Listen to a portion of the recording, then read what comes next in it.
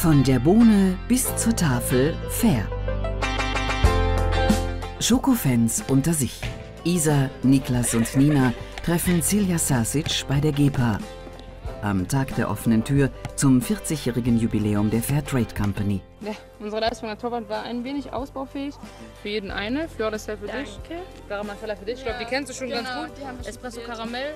Und das ist natürlich ja, fairer Handel, was ich denke ich auch äh, ganz wichtig finde, weil wenn ihr überlegen würdet, ihr hättet jetzt irgendwo einen Job und wollt äh, ja, dementsprechend auch bezahlt werden, dann würdet ihr euch auch nicht mit weniger zufrieden geben, als das, was ihr verdient hättet. Und außerdem schmeckt die Schokolade dann, glaube ich, viel, viel besser.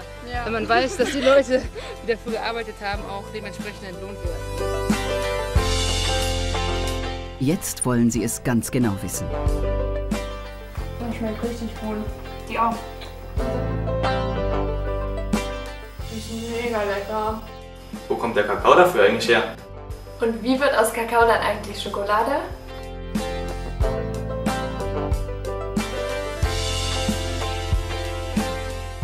Müssen auf den Plantagen auch Kinder arbeiten? Können die Kakaobauern eigentlich gut von ihrer Arbeit leben?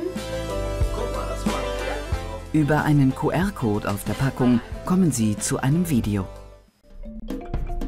Ich finde es toll, dass die GEPA Genossenschaften in Kamerun und Sao Tome unterstützt.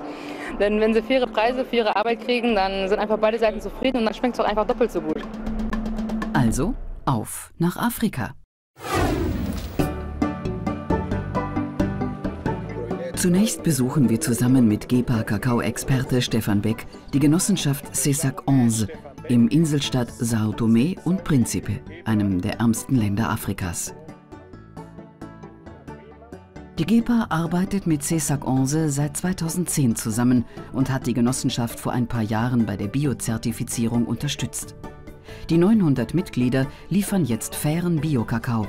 Ein echter Fortschritt. Jetzt bin ich so zufrieden. Es wurde alles besser, als CESAC 11 hier begann. Am Ende eines Jahres bekommen wir Geld. Ich bin sehr zufrieden. Für die Haushaltskasse ist das auch gut. Sie hofft, dass sie bald in ein Steinhaus umziehen kann.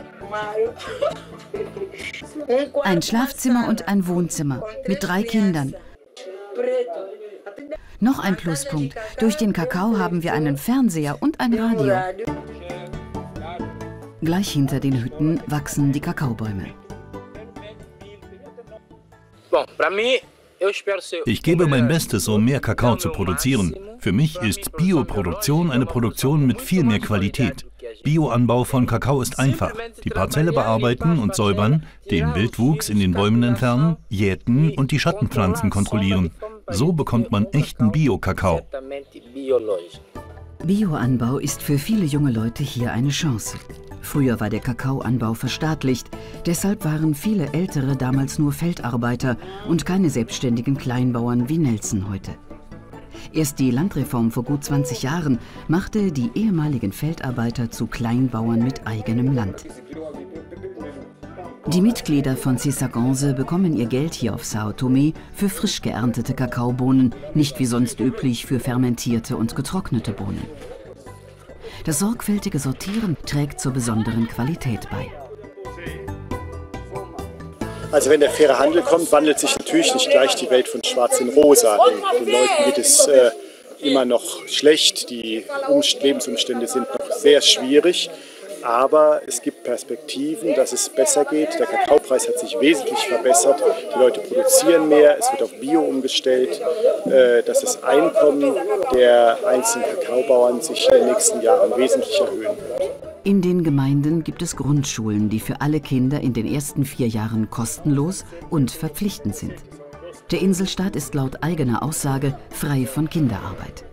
Es gibt allerdings noch zu wenige weiterführende Schulen, sodass es sein kann, dass ältere Kinder nach der Grundschule in den familieneigenen Pflanzungen mithelfen. Cessagonse plant aus dem Mehrpreis des fairen Handels eine Sekundarschule mit Übernachtungsmöglichkeit zu bauen. In vielen Orten hat sich seit der Kolonialzeit äußerlich noch nicht viel geändert. Die Infrastruktur wird erst allmählich besser. Aber für die Kleinbauern ist vieles anders geworden. Sie sind vor allem nicht mehr von ausbeuterischen Zwischenhändlern abhängig. Jetzt können sie sich darauf verlassen, dass ihnen ihre Genossenschaft den Kakao zu einem festen Preis abnimmt. Und die Genossenschaft wiederum kann sich auf die fairen Preise der GEPA verlassen. In den Mitgliedsgemeinden werden die frischen Kakaobohnen zentral weiterverarbeitet. Sie kommen in Holzkisten zum Fermentieren. Dabei entsteht Wärme und Aromastoffe bilden sich. Die Bohnen sind schon braun, riechen aber noch nicht nach Kakao. Das ist toller Kakao. Ganz gleichmäßige Bohnen, tolle Fermentation. Ähm, sowas habe ich selten gesehen.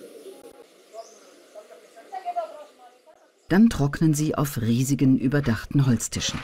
Regelmäßiges Harken ist wichtig. Schlechte Bohnen werden aussortiert. Die GEPA kauft unseren Kakao und das hilft unserer Kooperative sehr. Die GEPA ist auch bereit, Bestellungen vorzufinanzieren. Wenn jemand unsere Genossenschaft so unterstützt, ist das einfach sehr gut für uns.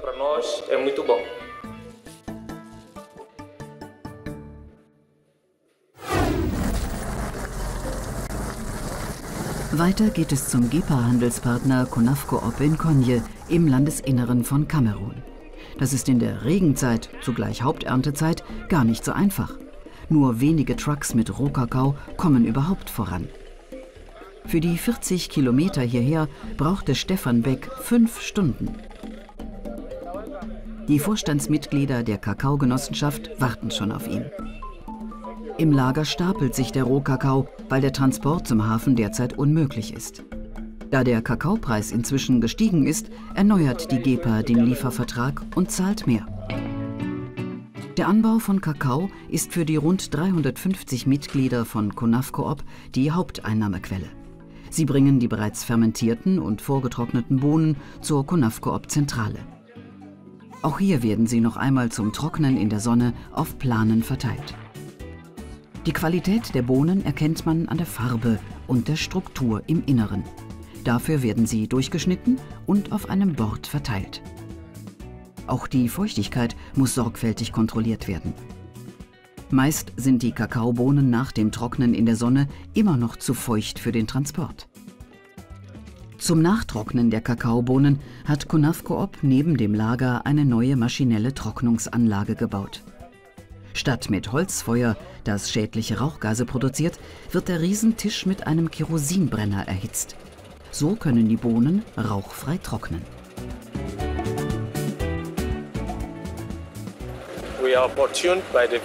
Wir freuen uns über den Besuch unseres Partners GEPA und möchten hiermit an die Erfolgsstory erinnern. Die Kakaotrocknungsanlage hat uns die GEPA zur Verfügung gestellt. Dank der GEPA und ihrer Zusatzprämie war der Bau möglich. Die Trocknungsanlage hat eine Kapazität von 8 Tonnen. Die Kakaobauern können damit den Feuchtegrad des Rohkakaos, den sie in der Sonne trocknen, reduzieren, und zwar von rund 10 bis 12 Prozent auf 7 Prozent. Und so wird dieser Rohkakao dann von unserem Lager zum Verschiffungslager nach Europa transportiert.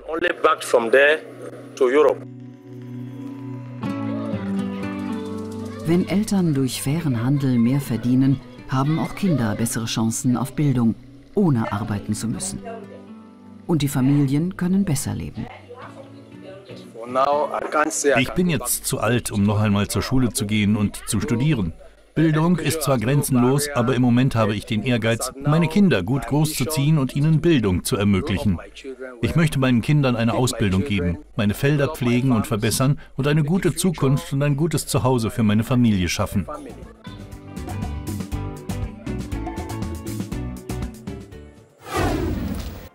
Was wäre Schokolade ohne Zucker? Den bezieht die GEPA zum Beispiel von den Philippinen. Früher haben wir auf das Geld für unsere Arbeit warten müssen, aber jetzt zahlt die ATC, also die Alter Trade Corporation, uns Zuckerrohrbauern neben dem Lohn auch Versicherung. Und es gibt Vergünstigungen für alle Mitglieder. Zum Beispiel haben wir diese Nothilfefonds. Wir haben unsere Gemeinschaftsfonds und wir bekommen Bargeld im Voraus, wenn wir es sofort brauchen. Die fast 600 Kleinbauern von ATC pflanzen und ernten Biozuckerrohr. In der eigenen Zuckermühle wird daraus Bio Mascobado Vollrohrzucker. Der Saft wird erhitzt, sodass Wasser verdampft. Übrig bleibt die braune Zuckermasse, die anschließend durch Rühren weitertrocknet.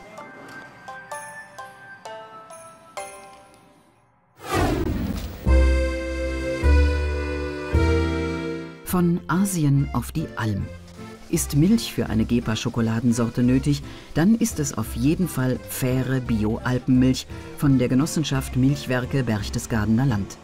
Sie zahlt ihren Mitgliedern einen überdurchschnittlichen und verbindlichen Milchpreis.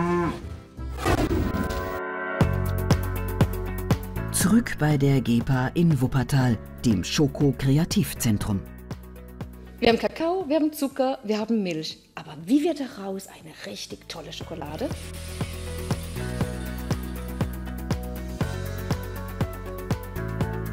Alles das wird dann zusammen verrührt. Blatt ausgedrückt, wie zu Hause, wenn ich einen Kuchenteig anrühre. Und das wird lange gerührt, damit es eine schöne Konsistenz gibt, eine schöne Masse gibt. Das wird dann in der Anlage abgeformt, in die Tafeln, wird gekühlt und dann habe ich meine Schokolade. Unsere Ideen für neue Rezepturen, die kommen von überall her. Wir selbst sind in den Märkten unterwegs. Es kommen unsere Kollegen und Kolleginnen, es kommen unsere Kunden und äußern Wünsche. Also das ist ganz vielfältig. Und dann ist die erste Mustertafel des neuen Sortiments da. Stimmt die Konsistenz? Schmeckt die neue überhaupt? Viele Probeläufe sind nötig, bis es rundum passt. Eines der Highlights unseres neuen Schokoladensortiments ist für mich die Gaffamasalat. Einfach eine total klasse Schokolade mit einer abgeflogenen Gewürzmischung und das zusammen ist köstlich. Und das ist auch ein Highlight unseres neuen Sortiments, eine vegane Schokolade. Das war ein expliziter Kundenwunsch und es war gar nicht so einfach, hier eine gute Rezeptur hinzubekommen, vor allen Dingen auch mit einem schönen Schmelz. Und ich bin ganz stolz, dass uns das gelungen ist. Ob vegan oder nicht, rundum fair sind sie alle. Die Schokoladenmasse wird noch aus selbst gerösteten Bohnen hergestellt. Unsere fairen Rohwaren lassen wir getrennt von anderen verarbeiten und können sie bis zur Bohne zurückverfolgen. Und was die GEPA Fair eingekauft hat, findet sich direkt in den Schokokreationen wieder. Transparente Lieferkette ohne Mengenausgleich, Qualitätskontrolle von Anfang an und sorgfältigste Veredelung. Was drauf steht, ist drin. Und wo gibt es nun die rundum fairen Schokoladenspezialitäten? Isa, Niklas und Nina werden natürlich im Internet fündig. Der GEPA Online-Shop hat sie. Und im echten Regal sind sie in Weltläden, vielen Biomärkten und Supermarktfilialen zu finden. Ich schmeckt richtig gut. Sie auch.